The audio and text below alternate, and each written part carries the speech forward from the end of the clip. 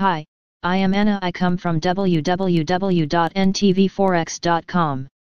UN Chief Guterres diplomacy is the a only pathway a to sustainable peace and denuclearization on the Korean Peninsula. A Yonhap http ntvforex.com news ID 9E4D99 3 minutes ago by Anil Panchal early Monday morning in Asia. The United Nations saw Secretary General Antonio Guterres crossed wires, via Yonhap, while delivering an online message for the Korean Global Forum for Peace, an annual forum organized by Seoul's Unification Ministry.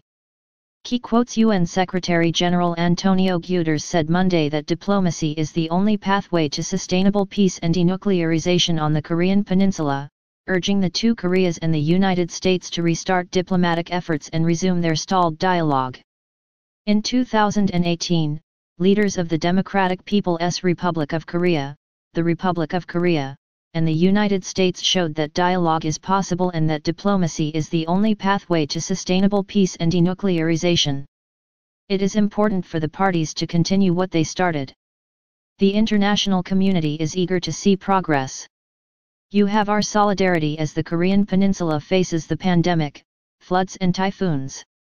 It is crucial that the two Koreas address these and other challenges together. I encourage you, through this important forum, to imagine a future of peace and prosperity on the Korean Peninsula. FX implications with the markets in the US off for the Labor Day holiday, coupled with the mostly dead news feed, global traders paid a little heed to the news. Even so, the USD KRW stretched Friday's losses to 1,186 whereas South Korea Korea's KOSPI gained over 0.75% by the press time. Subscribe our channel to receive the news as soon as possible. Thank you for watching. If you want to read real-time news, text messages to MT5 Expert Advisors page at https m.me mt5.expert.advisors.